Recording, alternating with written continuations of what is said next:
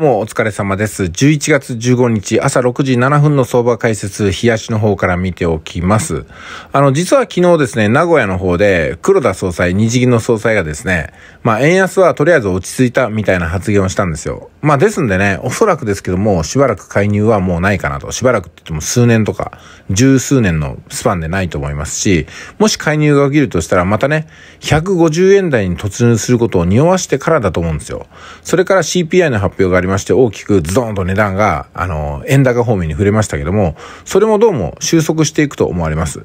で、えー、介入とかね、CPI の材料に対して、ネガティブだった人、恐れを抱いていた人はそろそろムクムクと相場の方に帰ってくるのかなと思うのと同時にですよ。この前の CPI で5円とか6円一気に円高の振りましたけども、そこでですね、円安の方向にポジションを持っている人は全員、あの、ロスカット食らって資金を失ってるはずなんですよ。まあですんで言ってみればね、あの、いなくなるべき人がいなくなって、残ってもいい人が残ったみたいな状況が今だと思うんですよ。で、この今の状況もしばらく続けていくと、またね、投機的なマネーを投げる人とか、あの、あらゆる資金が、FX のために、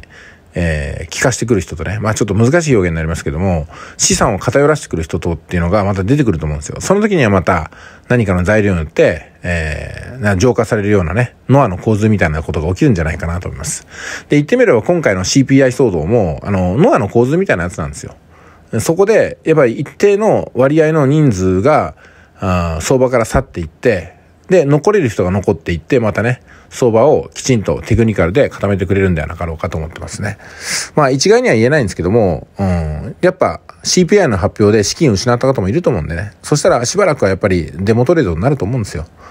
で、そういう方が資金を貯めて、もう一回この相場に戻ってきた時って、またね、相場が荒れる事態になるのかなと思いますね。この繰り返しですからね。で、こういう時に、あの、大ブレした後にでもちゃんと相場が見れる人っていうのは、回復の早い方とか、資金力のある方とか、あスキルの十分ある人だと思いますんで、えー、ぜひね、こういう時にテクニカルをまた身につけていただきたいと思います。はい。じゃあ前置き長くなりましたけども、冷やしを見ると、やっぱりね、売りの勢いが収まったようなところが、ここで感じることができるんじゃないかなと思います。ただし、上髭が長いんでね、上の方向に行く力があるかっていうと、この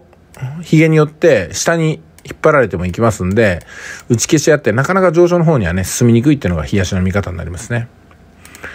次です。4時間見ていきます。4時間は、値段が下がった後に踏みとどまってちょっと値を戻したかなと思ったらさらにもう一発食らったみたいなところがあって N を書いたわけなんですね。で、その N を書いた後にここで止まって上昇してるってことはおそらくもう一回 N を書くってことはないんではなかろうかと思います。ただし N を描く可能性もありますんで警戒は怠らないようにしましょう。そして1時間を見ていきます。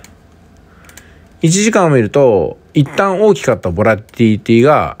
ここまで来たのがここになってね。で、今度ここに行ったんだったけど、ここに来ましたよね。ってことで、ここにボラティリティを引くという作業になってきます。で、もう一つなんですけども、下のボラティリティ、ここが底を打ったところなんですけども、ここがここに来て、まあ、こんな感じですか。うん。まあ、ここですよね。髭を除くと、こういう風なレンジがまずできてくるんではなかろうかっていうことですよね。はい、その後で髭先のレンジも作っていきますんで、ここと、ここということで、え、レンジが2種類決まりました。内側のレンジと外側のレンジです。それぞれこれを価格設定すると、内側が、オリガルヒの皆様にはお伝えしましたけども、140円の450から139円の140。え、この50ピープスの間で、とりあえずはこの内側の